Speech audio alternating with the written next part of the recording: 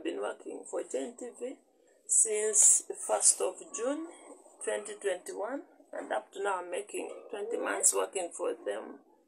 Uh, we signed to pay me 350, and right now it should be 7 million. Uh, when I went to ask my bosses about my payment because I was not doing well, my landlord chased me out of the house. That now I'm staying with a friend with my three children, and they were starving. They are not going to school. Mm. The manager said that I'm over complaining and that this is going to bring negativity within other workers.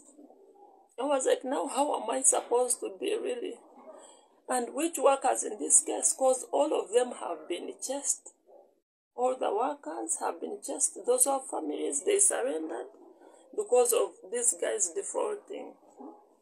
I went to Human Rights Commission and uh, they told me they wrote to them a letter and they are supposed to respond within 21 days. Legally, that they have to wait for 21 days. But within these 21 days, I'm starving. My children don't have what to eat. We are staying in a friend's room, just one room. My husband, who was looking for us what to eat, he, he because he's a casual barrack, he's just got broken. I took him to a friend. We are really in a bad state. Whoever has 100, 1,500, please help us. Me and my children, we are really starving. President Museveni, ministers, MPs, please. I'm not doing well with my children.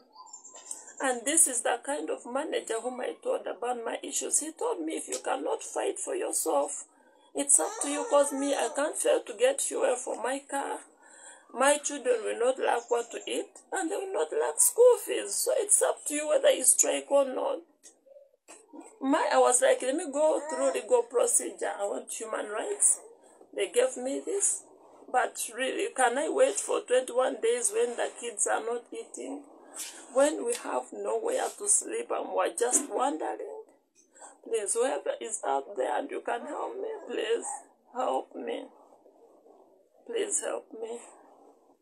Uh, my number is 075 805 6996 and 0789 67 1684. That's the MTN one.